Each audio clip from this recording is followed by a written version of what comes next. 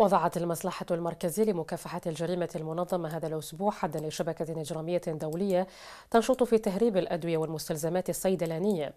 ذات المنشأ الأجنبي العملية مكنت من توقيف شخصين وضبط أزيد من 22 ألف وحدة من الأدوية والعقاقير الطبية والمستلزمات الصيدلانية. وقد تمت تحت إشراف النيابة أين جاءت أو أقول جاءت بناء على عمل استعلامات ميداني مكثف أسفرت عن المخطط الإجرامي لهذه الشبكة في كل من الجزائر العاصمة وعنابة والتي كانت مخزنة في ظروف لا تستجيب لأدنى شروط السلامة والصحة فيما يتواجد ثلاث عناصر.